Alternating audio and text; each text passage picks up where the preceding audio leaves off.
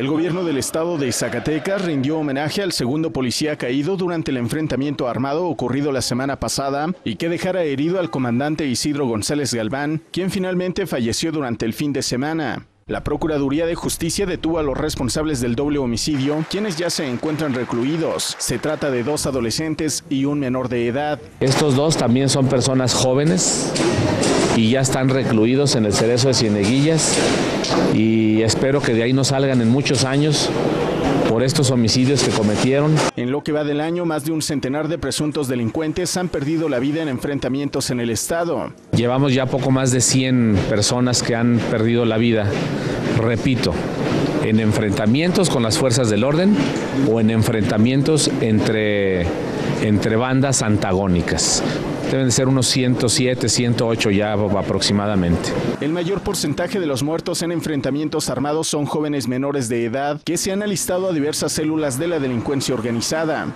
La gran mayoría, yo le podría decir que tal vez un 85%.